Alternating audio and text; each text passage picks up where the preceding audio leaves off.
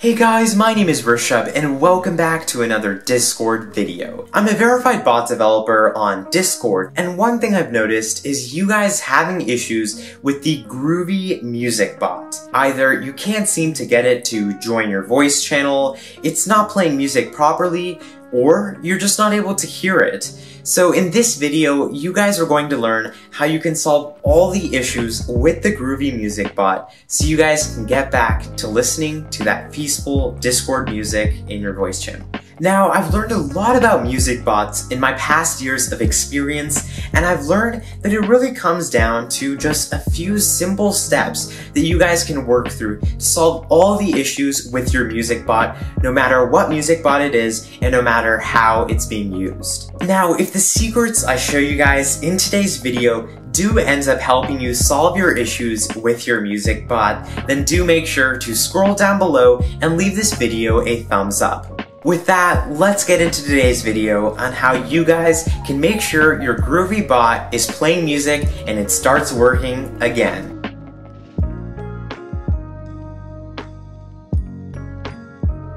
Now guys, this video is going to be split up into three main parts. In the first part, we're going to talk about the Groovy Music bot. Often bots on Discord can go offline, and because of that, the bot may not be responding to your requests. So I'm going to show you guys exactly how you can check to make sure that the Groovy bot is currently online. Then in step number two, I'm going to show you guys the server settings and permissions that Groovy must need to make sure that it's able to join and successfully play music in your voice channel. And some of these things may be super simple that you're just missing out on, and others may be more complex secrets that you're not sure of. And finally, in step number three, I'm going to show you guys some of my personal techniques to make sure that your GroovyBot is playing music, whether it's quickly swapping the servers in your Discord settings or some other cool tricks I'll be getting into. So with that, let's hop into step number one to make sure that the GroovyBot is actually online. Alright, so once you guys have added Groovy into your Discord server, you're going to want to make sure that it's actually online. You can do that by clicking on the Groovy profile or scrolling to the member list side and checking the Groovy profile to make sure that it's online and it's up. If it shows an offline status here, that means that the GroovyBot is currently experiencing issues and is offline. Another thing you're going to want to make sure is that the Groovy bot has ample permissions. Often, music bots on Discord don't actually require you to give it administrator privileges, however, it's always a good check just to make sure that the bot has the privileges it needs. So I'm going to go ahead and select this administrator role. You can alternatively make a separate role called bots or admin bots, and then you can go ahead and assign that to the Discord bot to make sure that it has ample permissions. In addition, we're going to go ahead and join the Groovy Discord server. In order to do that, the prefix for Groovy is the dash symbol, so you can do that by typing in dash help.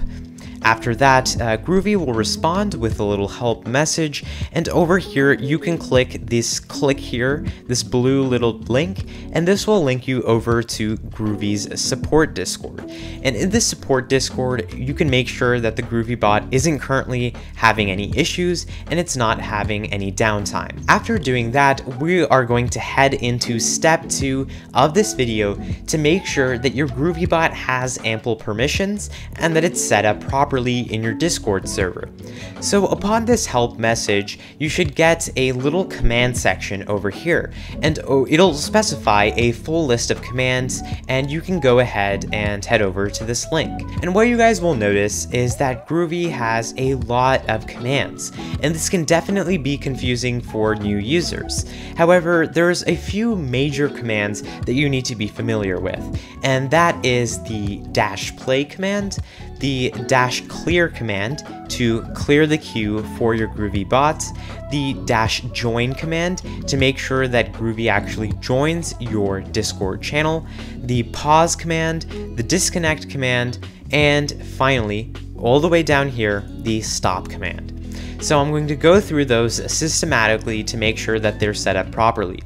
So if I go ahead and join the music VC of my Discord server, uh, the server invite is discord.io slash rjain. So if you want to join, uh, go ahead and join. We often record events here and various other cool things. So make sure to join discord.io slash rjain. So over here in our Discord server, I'm going to experiment by simply doing dash play and then any song. So over here, I'm just going to play the Discord ping song.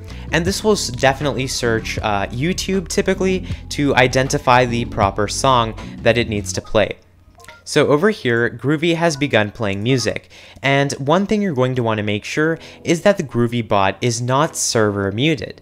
Do you see this little icon here that says server muted? If Groovy has this ticked on, it means that it's muted from your server and nobody will be able to hear anything. Another thing, upon right-clicking on the Groovy bot, you'll see a little user volume section and a mute section. You're going to want to make sure that the user volume is up to 100%, that it's not muted uh, via this section right here, and you're going to want to make sure that it does not have the server mute option on. So once you have all of these set up and you untick the server mute, you will hopefully start hearing music in your Discord server from Groovy. Now, if you still don't hear music, it could be an issue with the Groovy GroovyBot being paused. So earlier, I briefly talked about the dash pause command. So say somebody in your guys' Discord server accidentally hit the pause command. Well, now, Groovy is not playing music. So in order to unpause it, we can simply do the dash and resume. Groovy will now resume playing music. And you should hear it play music. Now, if you still don't hear it, not to fret, I'm still going to go over a few quick techniques for step two, and that is to clear the queue.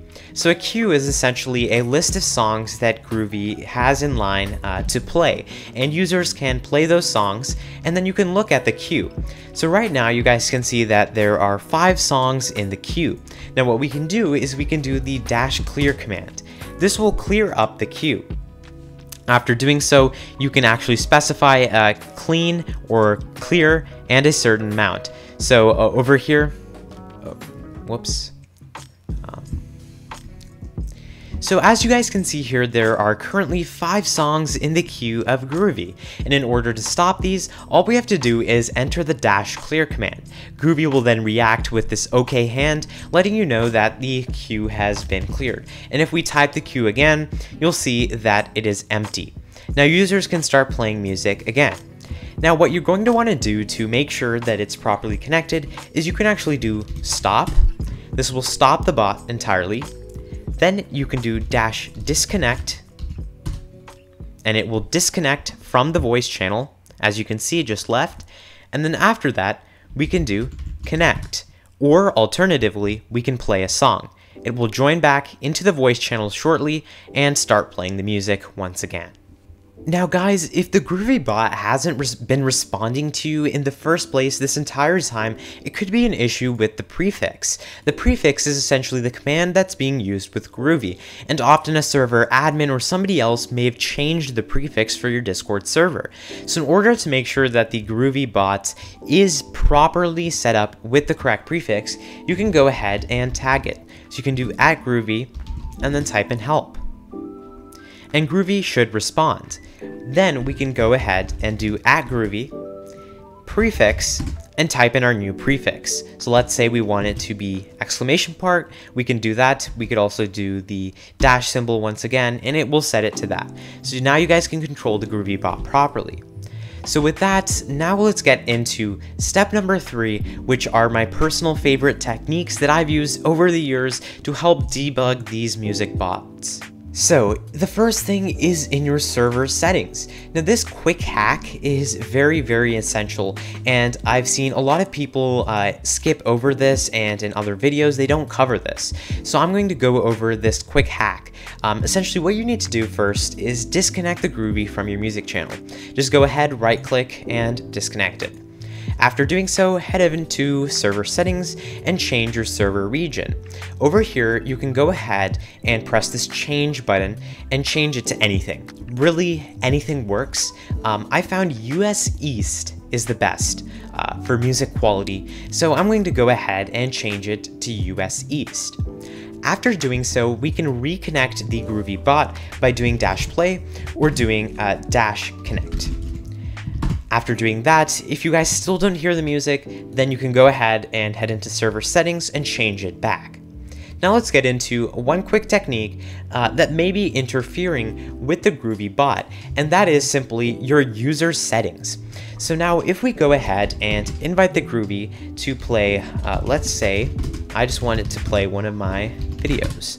So if I just do play Rishab Jain Discord videos, uh, found one of my Discord videos here, and let's go ahead and unmute it. It's starting to play. And what you'll notice is that there's actually, while it's playing, there's a little green circle around the Groovy bot icon. And if that green circle is there, it means that Groovy is indeed playing music. That means that it's not an issue with Groovy. It may be an issue with your client or browser settings. So if we head into user settings, go into voice and video, and then head over up into here, you'll see an input device and an output device. Now for the output device, uh, right now I set it to default, so that's just the current speakers on my system. And you can go ahead over here and change the output volume as well. In addition, we have our output device, and one thing you're going to want to make sure is that this is not connected to headphones, uh, to a Bluetooth device, this is on your speakers, and that will usually solve most of the issues as Discords can sometimes have problems with Bluetooth devices. And again, make sure that this is set up properly.